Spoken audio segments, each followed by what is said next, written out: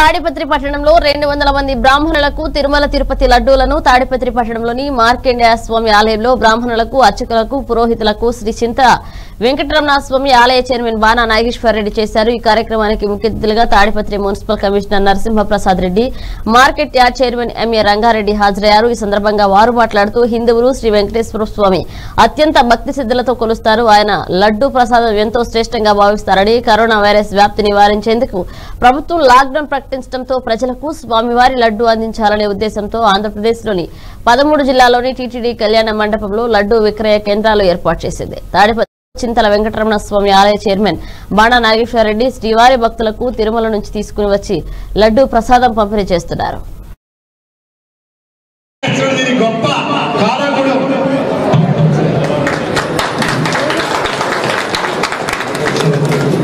ఇప్పుడు ఈ లడ్డు ప్రసాద కార్యక్రమాన్ని మనం మొదలు పెడదాం నాగేశ్వర రెడ్డి గారి చేత రంగారెడ్డి గారి చేత. కమిషనర్ గారి చేత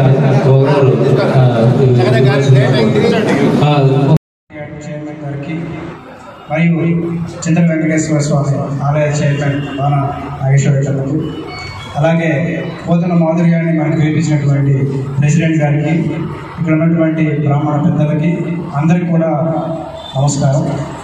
ఈరోజు స్వామివారి యొక్క ప్రసాదాన్ని మనందరికీ మన దగ్గరికి తీసుకొచ్చినటువంటి బాణ నాగేశ్వర కన్న గారిని ప్రత్యేకంగా అభినందిస్తున్నాము. ఎందుకంటే స్వామివారి దర్శనం చేసుకోవడం కష్టం.